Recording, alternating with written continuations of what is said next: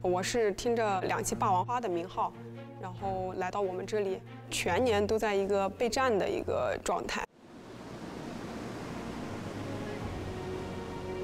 抵近侦察，呃，武装渗透、攀登、格斗，以及伞降、潜水各类武器的操作使用。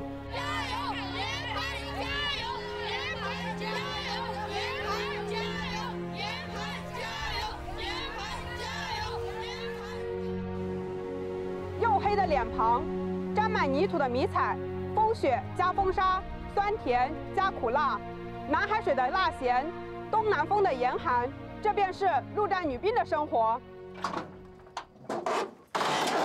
和男团队员同样的训练科目，同样的训练内容。加油，我们严玲排长从一名普通的女孩子，经过几年的锻炼，现在成为一名女特战队员的佼佼者。她能体现出一种女特战队员特有的这种精神面貌。首先。严格训练场秩序，做到令行禁止。希望同志们利用好有利天气，把本次课训练搞好，为下步实战化训练打下坚实基础。大家有没有信心？有有有！她是我们女兵中的骄傲，因为自己选的路，我想着就是怎么的爬着呀爬着走完。其实刚开始的时候，我们对女特战队员的加入是持一定怀疑态度的。呃，以前人家都会说啊，女子不如男啊什么的。我们怀疑他们能不能像我们一样能吃苦啊，尤其是作为一个女兵的话更不容易，更何况是作为一个女特战队员来说。但通过时间的推移，女特战队员她们所展现出的一种同样不服输、不甘落后的精神，是值得我们骄傲的。我也是希望，就是说他们能从陆战队员身上啊看到我们女性不一样的勇气。战争是不分性别的，随着。女特战队员的不断加入，我们也可以发现，女陆战队员她不是花瓶。女特战队员的加入也是一种机会的平等。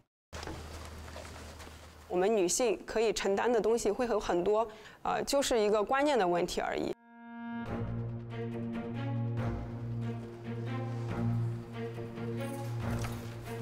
左将训练主要是在，呃，反恐特战小队在突入敌占房屋时所采用的一种训练。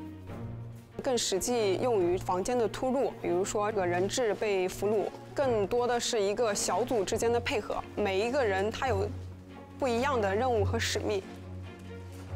我们主要采用我们的手语，就是要体现出我们一个快、稳、准。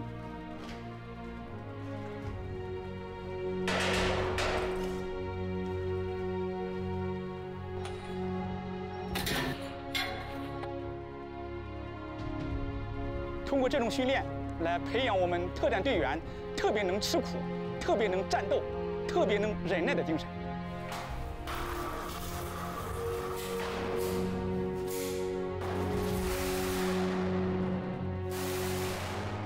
Yan Ling proves herself in training every day to be ready for anything. She's one soldier in the fight for equal representation for all Chinese.